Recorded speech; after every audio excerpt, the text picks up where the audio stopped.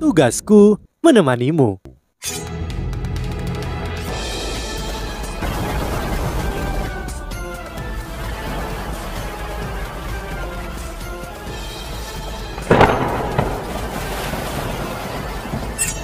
Hai sahabat pasuk, kembali lagi bersama alur cerita versi novel Solen 2 Sekte Tang yang tak tertandingi.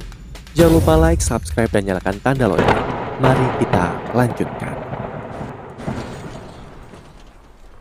Mungkinkah lawannya sebenarnya adalah seorang sage jiwa tujuh cincin dan bukan seorang kaisar jiwa? Bagaimana ini mungkin bisa terjadi? Sage jiwa tujuh cincin berusia 20 tahun dalam sejarah seluruh benua Daulo. Ini belum pernah terjadi. Meski Xiao Xiao terkejut, tubuhnya tidak membeku. Kualinya yang telah dikirim terbang muncul kembali di sebelahnya. Tatapan Xiao Xiao berubah serius dan dia merentangkan tangannya seketika. Kualinya terbelah menjadi tiga.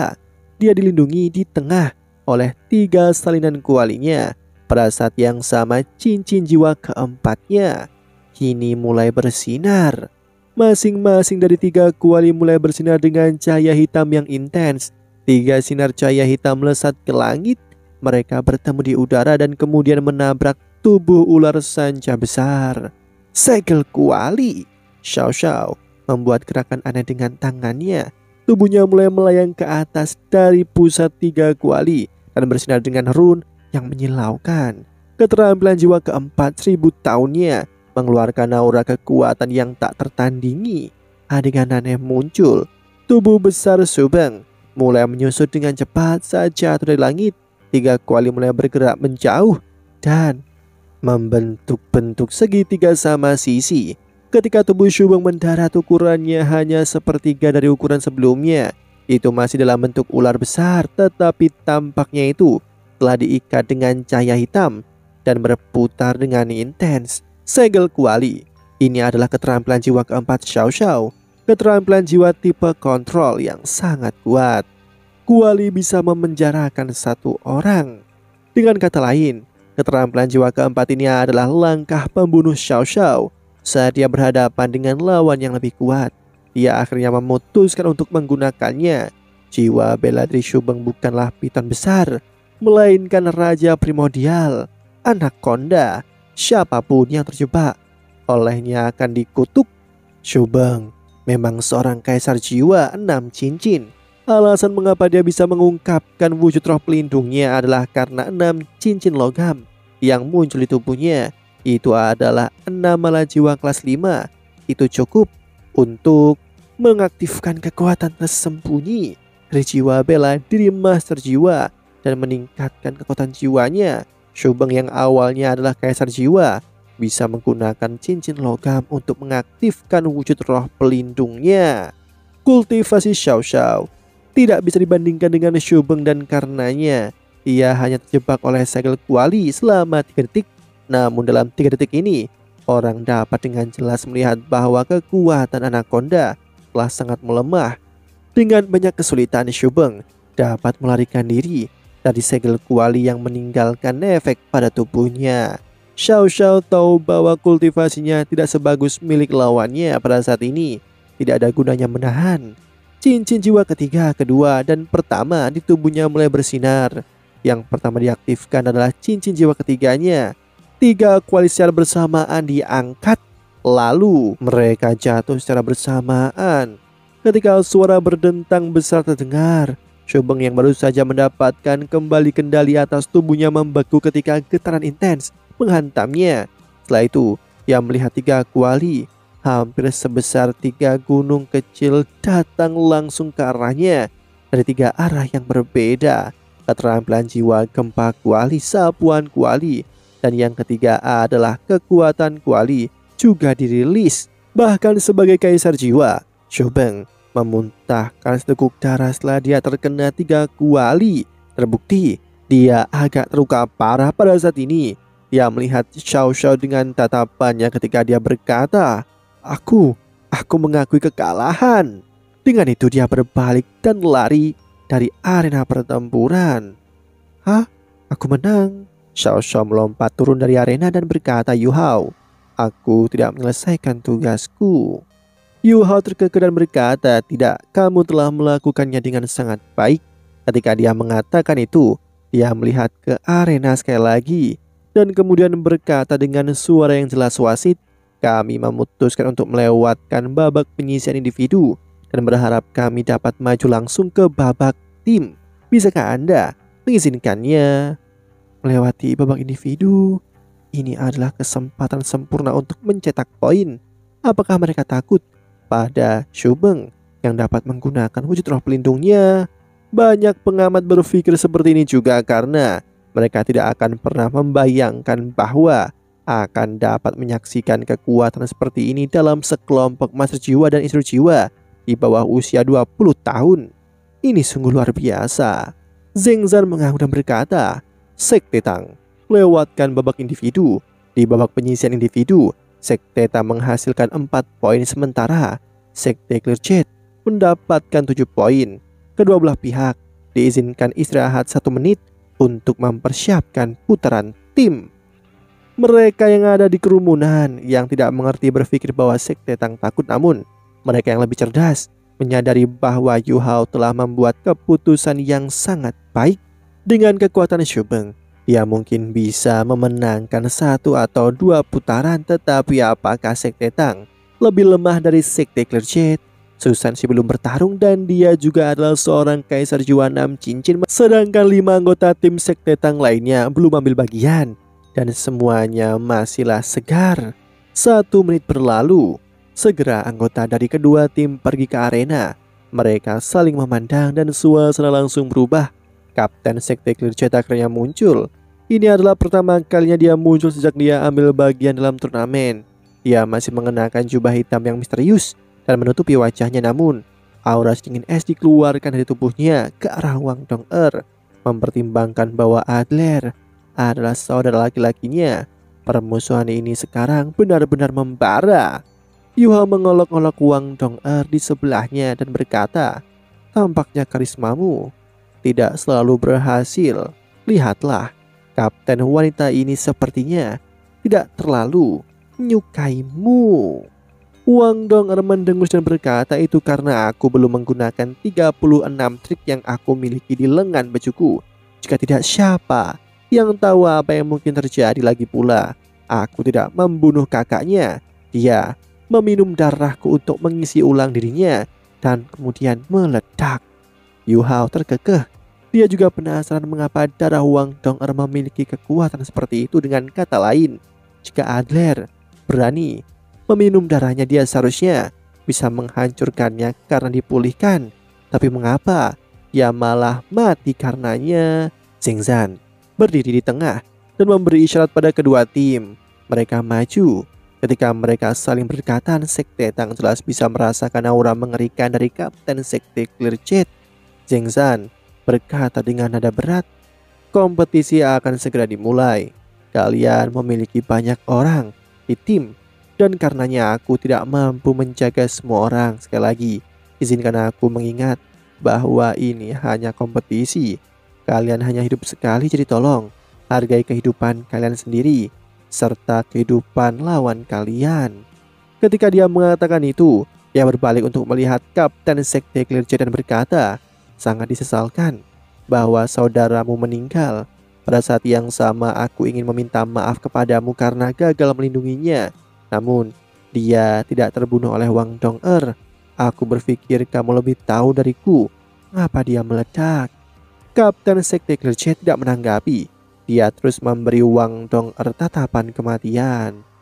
Bisakah para peserta dari kedua belah pihak menyebutkan nama mulai dari Sekte Clearjet, Sekte Clearjet, Qin Yue Yue, Yao Chen, Chen Chun, King Qin, wakil kapten dari Sekte Clearjet Shubeng. Wajah Shubeng pucat saat dia menatap Xiao Xiao. Dia masih bisa merasakan pukulan beruntun dari empat keterampilan jiwa Xiao Xiao. Kapten Sekte Clearjet adalah yang terakhir untuk membuka mulutnya dengan suara yang serak, dingin es, dan feminim. Dia berkata, Sekte Clearjet, Kain. Kain nama yang aneh. Di antara dua anggota lain dari sekte Clearjet yang belum ambil bagian, Chen Jun adalah seorang pemuda yang tinggi dan king-king. adalah seorang gadis yang tampak sederhana.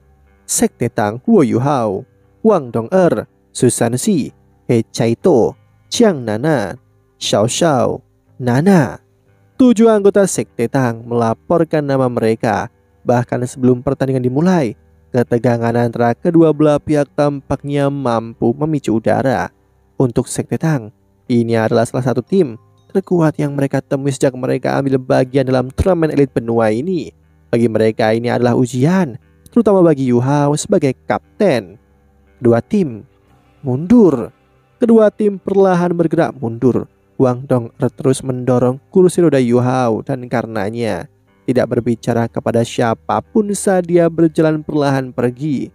Mereka bisa dengan jelas merasakan bahwa deteksi spiritual Yu Hao menggabungkan mereka semua menjadi satu entitas tunggal.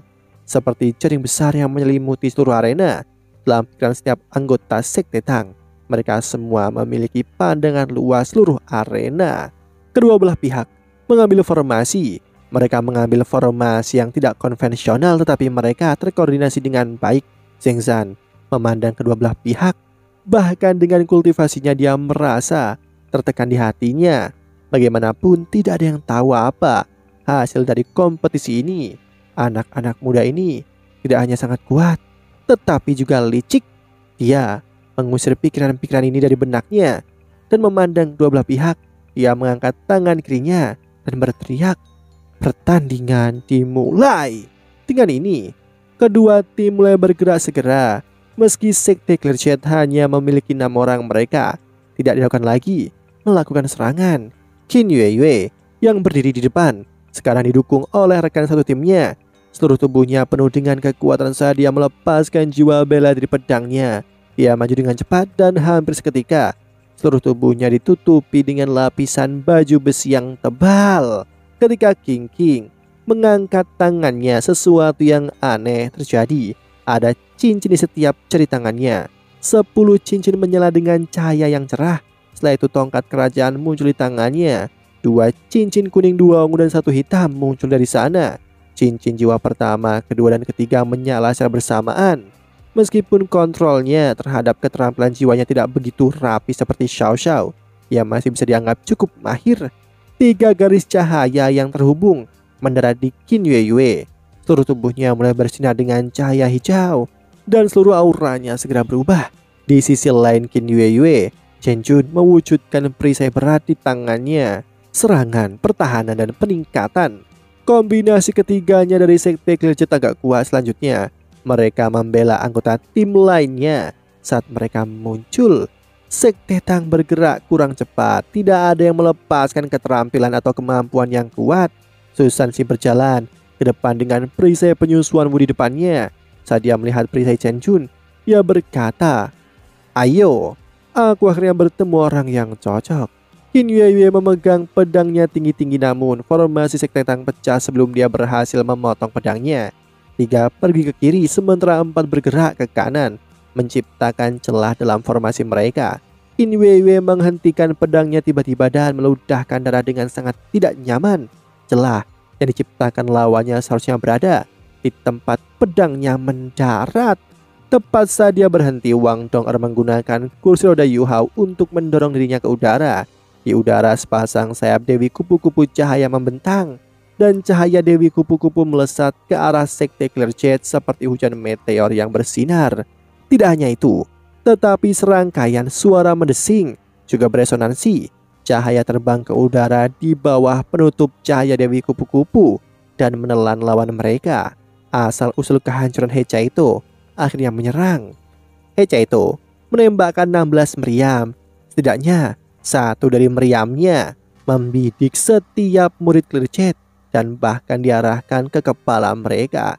Semua dihitung dengan tepat menggunakan deteksi spiritual Yu Hao dan tidak ada kesalahan yang akan terjadi. Sepuluh meriam sisanya ditujukan pada satu orang yang bukan pemimpin tim atau Shubeng. Itu ditujukan pada yang terlemah tetapi tercepat yaitu Yao Chen. Cahaya Dewi kupu-kupu Wang Dong-er tampaknya menelan area yang sangat luas, tetapi hanya memiliki dua target utama, yaitu Shubeng dan Kain. Cahaya Dewi kupu-kupu mengepung mereka berdua hanya dengan satu alasan, untuk mempengaruhi mereka sehingga mereka tidak dapat membantu Yao Chen. Sebuah ledakan luar biasa mengguncangkan arena. Dewi kupu-kupu cahaya Wang Donger sangat kuat. Dia adalah seorang kaisar jiwa dari enam murid sekte Clerget. Chen Jun yang memiliki perisai adalah yang pertama bergerak. Dia mengangkat perisainya ke udara dan menutupi dirinya. Qin Yue Yue dan King King. Saat ledakan yang luar biasa terdengar, mereka bertiga berhenti di jalurnya tetapi tidak terluka oleh cahaya Dewi Kupu-Kupu atau meriam Heca itu. Cahaya intens yang dilepaskan oleh perisainya memblokir semua serangan. Shubeng terus menunjukkan sisi kuatnya saat dia bergerak. Aura yang mendominasi terlepas dari tubuhnya. Hembusan gas yang kuat naik ke udara untuk menghancurkan peluru meriam yang terbang ke arahnya. Setelah itu, ia juga membantu kain menghalangi cahaya Dewi Kupu-Kupu. Dia juga dengan cepat mengungkapkan jiwa bela dirinya, meledak langsung ke arah tim Sekte Tang. Kain mengangkat tangan kanannya dengan lembut, dan lima paku panjang berwarna keemasan memanjang, adapun cahaya Dewi Kupu-Kupu. Kain menggunakan kukunya untuk menghancurkannya juga. Namun Yao Chen tidak seberuntung itu. Meriam-riam lawan secara akurat memperhitungkan lintasannya. Perasaan mengerikan menyebabkan seluruh tubuhnya bergetar saat dia mengangkat kepalanya untuk melihat ke langit Yao Chen ngeri melihat bola logam. Bola logam ini menghadapnya seperti mata besar. Cahaya merah yang intens bergelombang ke permukaannya. Saat dia mengangkat kepalanya seberkas cahaya merah sudah meletus lurus ke arahnya. Pada saat yang sama empat cincin emas yang familiar muncul di sekitarnya. Empat cincin cahaya keemasan juga naik dan langsung mengunci di tempatnya. Tidak ada kesempatan untuk melarikan diri. Sosok besar muncul di udara. Sebuah penghalang putih menghalangi kepala Yao Chen dan ledakan keras terjadi. Bahkan itu beberapa kali sebelum berhenti. Yao Chen sangat pucat saat dia berdiri diam. Tim Sekte Clerget, Yao Chen tersingkir. Sosok besar itu tidak diragukan lagi adalah Zeng Zan. Ketika rentetan cahaya merah jatuh, dia sudah tahu bahwa Yao Chen tidak berdaya. Selain itu, Yao Chen sudah menggunakan penghalang tak terkalahkannya. Bahkan jika dia belum menggunakannya, ia bahkan mungkin tidak dapat memblokir serangan ini jika dia mencoba menggunakannya. Dia menghadapi alat jiwa kelas 7 yang kuat yang disebut sebagai mata ketakutan. Itu berhasil menendang Yao Chen keluar dari babak tim. Kalau tidak dia akan hancur oleh sinar terornya. Serangan ini bersama dengan empat formasi heksagram Wang Dong-er sudah cukup untuk mengalahkan Yao Chen. Ini adalah kerja tim dari tim Sekte Tang setelah menembakkan mata ketakutannya ke udara, Hecha itu menyeringai. Ledakan bergema. Anak konda besar jatuh dari udara dan menabrak salah satu sisi dinding. Susan si menerjang maju untuk memblokir. Xiao Xiao juga bertindak pada titik ini. Kuali hitamnya langsung tumbuh ukurannya hingga mencapai diameter 3 meter. Itu jatuh dari langit dan jatuh ke kepala wujud roh pelindung anak konda. Wang Dong baru saja menyelesaikan empat formasi heksagram dan kembali ke sisi Yu Hao. Jiang Nanan tidak bergerak dan tetap berada di sisi Susan Si. Nana bergeser, bergeser ke belakang Susan Si juga. Garis cahaya pedang biru tua muncul seperti sambaran petir dan menabrak wujud roh pelindung anak konda. Anak konda menjerit menyedihkan dan luka yang dalam muncul di sana. Cahaya melesat ke segala arah saat Shubeng mengaktifkan wujud roh pelindungnya. Cahaya pedang yang menghantamnya membawa kekuatan es pamungkas. Shobeng ditekan. Wanita salju yang imut itu melayang ke udara ketika dia melihat wujud roh pelindung anak konda. Dia tampak sangat mencemooh. Pedang permaisuri langsung dihunuskan. Sekte Tang tidak diragukan lagi, bahkan lebih menakutkan ketika mereka bertarung sebagai satu tim dengan deteksi spiritual Yu Hao mereka dengan mudah menekan lawannya Zeng Zan menghela nafas saat dia melihat semuanya. Sekte Tang terlalu kuat. Sepertinya tim Ryu benar untuk menyerah di babak tim. 5 lawan 7. Mereka tidak akan bisa mengalahkan Sekte Tang mengingat seberapa kuat dan terkoordinasinya mereka. Pada titik ini, Sekte Klejer berada pada posisi yang sangat tidak menguntungkan mereka. Seperti ayam tanpa kepala, Kain akhirnya bertindak Ketika anggota timnya semua dalam situasi bencana, dia meledak seperti bayangan. Dia sangat cepat, jauh lebih cepat daripada Yao Chen. Sepuluh garis cahaya gelap keemasan melesat ke arah putri salju. Bukan hanya itu, tapi dia juga menjerit nyaring. Semua orang di sekte Tang tersentak. dan sedikit tertahan ketika mencoba untuk melepaskan keterampilan jiwa mereka. Dia cepat, bahkan Yuho tidak menyangka Kain menjadi begitu ganas seperti ini. Demikianlah kisah untuk kali ini. Sahabat pasuk, jangan sedih, jangan bimbang, apalagi galau. Karena aku kan selalu menemanimu.